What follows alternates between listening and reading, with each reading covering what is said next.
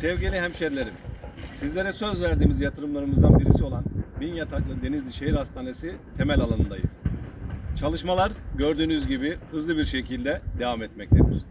Bu önemli yatırımın yapımında emeği geçen başta Cumhurbaşkanımız Sayın Recep Tayyip Erdoğan olmak üzere bakanlarımıza, milletvekillerimize ve Büyükşehir Belediye Başkanımıza çok teşekkür ediyorum.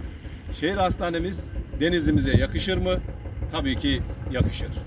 Denizli'mize yakışanı yapmaya devam edeceğiz.